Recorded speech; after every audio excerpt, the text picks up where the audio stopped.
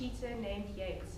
When you come at a tour on the Ann Van Dyk Cheetah Center, you'll also have an opportunity to meet one of our beautiful adult ambassador cheetahs. So an ambassador like Yates is someone that was born at our center and had to be hand-reared for various reasons. Now Yates is a beautiful boy who also visits our underprivileged schools. So by coming up and meeting an ambassador like this, half of the proceeds go to our underprivileged communities school visits. And that's a real feel-good opportunity, meeting a beautiful cheetah like this and contributing towards our education program. On educational visits, learners will not only get to see Yates, but learn about how they can help our environment.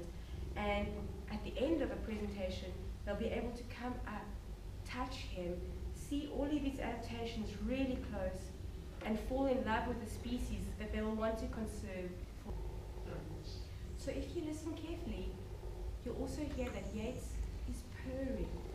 A purr for a cheetah is exactly the same as a domestic cat. It means he's relaxed and enjoying this.